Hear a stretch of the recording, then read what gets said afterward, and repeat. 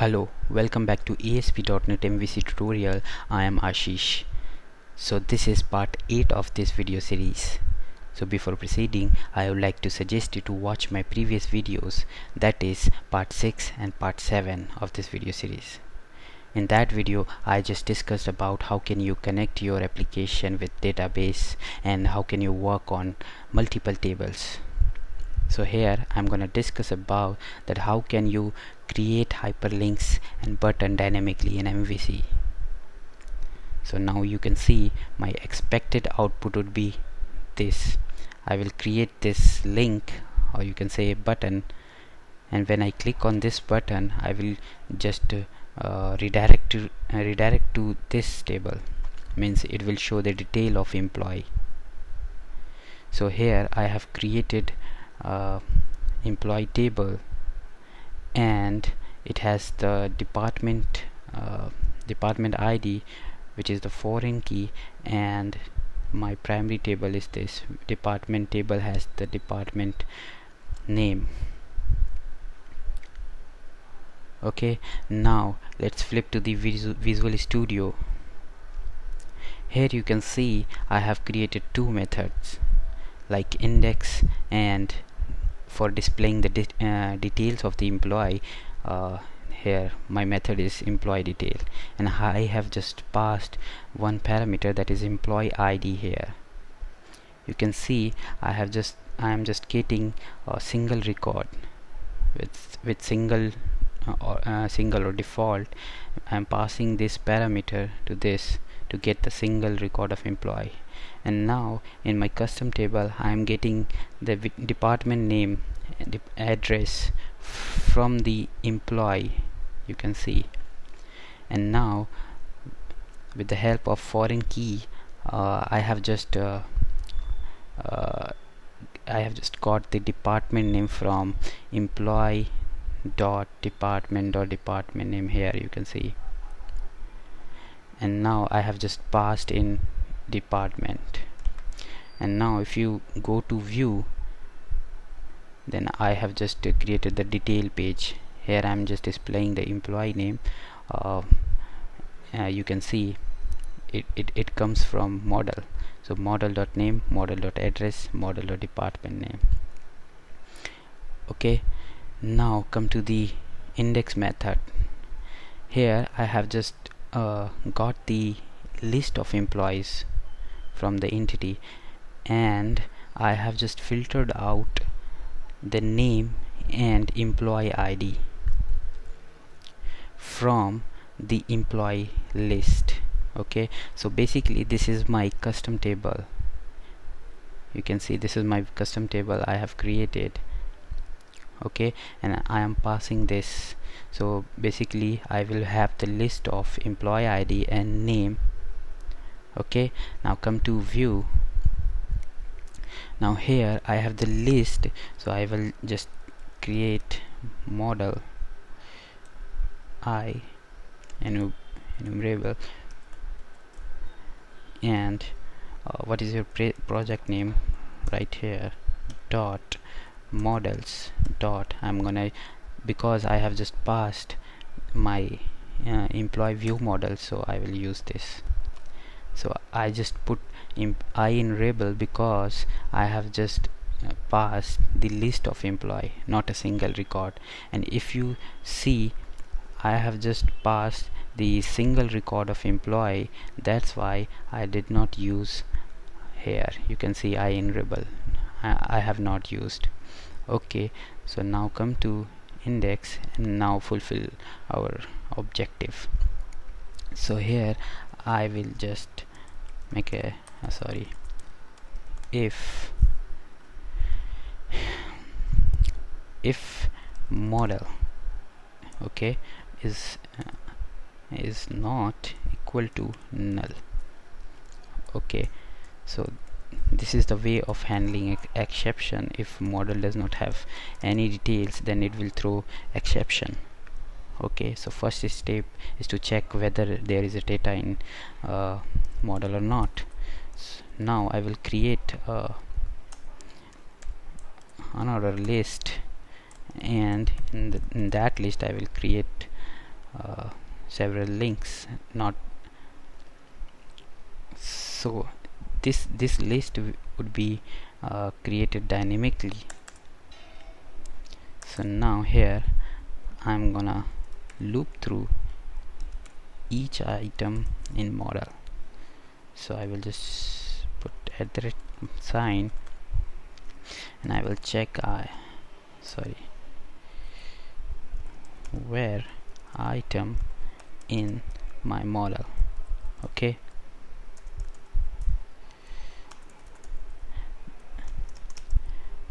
Okay so model has consisted a lot of uh, employees record uh, list of records you can say. So here in in the general HTML format I'm just uh, gonna create the hyperlink. Okay. So here I'm gonna use anchor href equals. Okay. So put a backslash and your what is your controller write your controller name test slash and what is your method name? So I'm gonna copy it here. Okay and now uh, this consists uh, parameter also. So I will just copy employee ID and I will just paste it here equals and I will pass ID dynamically. So I will just put item dot uh, employee ID okay? And now in this section I will display the name. So so I will have the item dot employee dot name. Okay? So now here you can say uh, just delete this. Okay now let's run this application and let's see what's gonna happen here.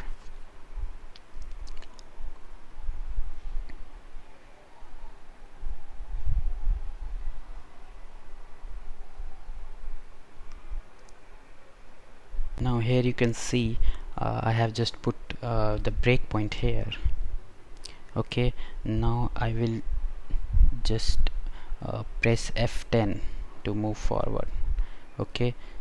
So I will uh, I will get the employee list here. You can see I have four count okay? So I will just get address department name and employee ID and employee name okay? I'm just filtering out the employee name and employee uh, ID and just continue it. Okay and now go to view. So here I will I will got the uh, I have just got the list of employees. Okay so now let's uh, use the bootstrap feature or bootstrap classes. So if you are new to bootstrap then definitely I would like to suggest to watch my bootstrap tutorial I will just put uh, put the link in the description. Okay so that you can watch my bootstrap tutorial also. So here uh, I will put this class uh, list group. So list group and also I will just put the class list group here. You can put the list item. Okay and here also you can put a class.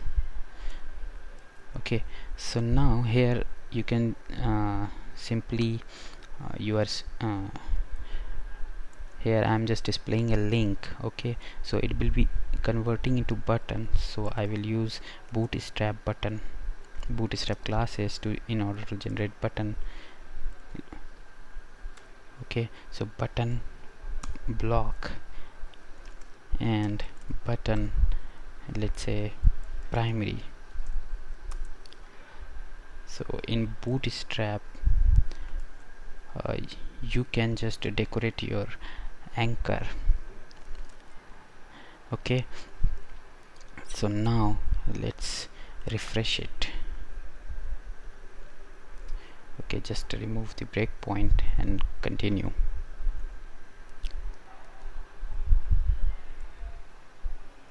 Now here you can see your button. So it consists the all you can you can see in the table it just display the all uh, employee employee ID employee name department and address. So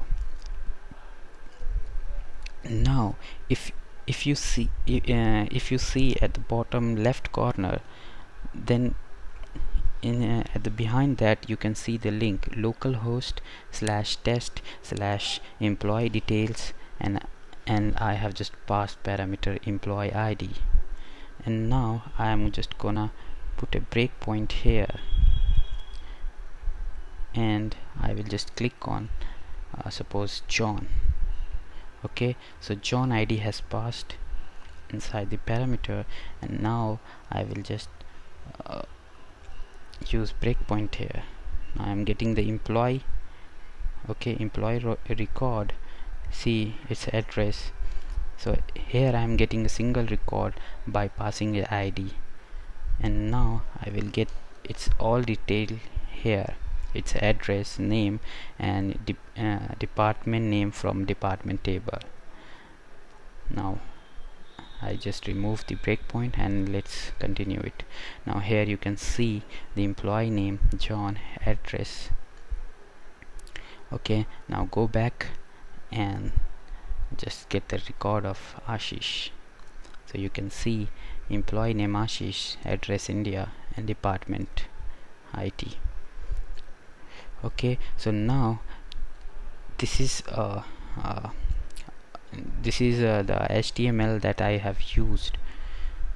And now I am just going to use HTML helper.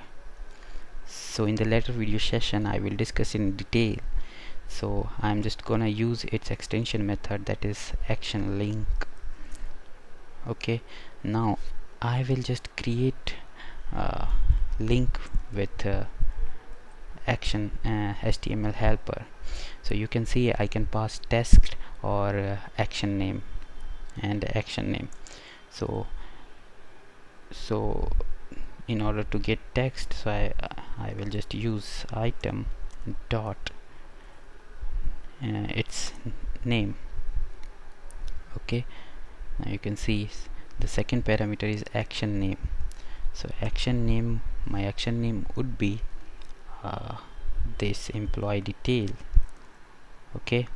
So I have just passed employee detail here. So put it into the double quotes. Okay? And now you can see it has nine overloaded method. So if you uh, if you put a comma then you will you can see object route value. So how can you pass the parameter in this way? So I have to pass employee ID okay so I just I will pass. Employee ID equals to uh, sorry item dot employee ID where is employee ID employee ID okay now let's let's go back and let's refresh it now again you can see the same output here. Now how can you uh, put class here so that you can decorate it? So if you put a comma then again you can see the fourth parameter you can pass object HTML attribute here. So put a new and pass at the rate class equals uh, I'm just gonna use this one. Copy. And just refresh it.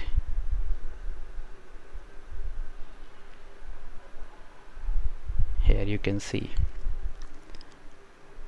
Also you can just put uh, change the button color here in order to make it attractive. So there are a lot of uh, option button option in bootstrap I would like to suggest you to watch my bootstrap tutorial also. Okay so here you can either generate through HT your custom HTML or with the HTML helper okay so we will discuss this later and now uh, you can just click on John here. So I got the John detail. Okay so I have just created this hyperlink using this. And now if you just hover on it then at the bottom left corner you can see uh, the URL pattern. Test employee uh, I am passing the employee ID equal to 2 so if I click on this then you can see the URL so in HTML helper you just passed your uh, text then your method name and your URL par parameter. So it may be optionals okay so in this way you can generate your hyperlinks in order to call uh, different methods present in the controller or you can say in the different controller. You can call any method with your uh, hyperlinks. So it is basically used for uh, doing uh, various operation like edit uh, delete. So we will generate in later video session uh, so that you can understand uh, how can you create your form and how to delete update uh, your your uh, employee details. So we'll discuss in later video session. Okay thank you very much for watching and uh, if you really like then again gives a thumb and gives a thumbs up and uh, comment. If you have any problem then please comment and subscribe my video. Thank you very much. Have a great day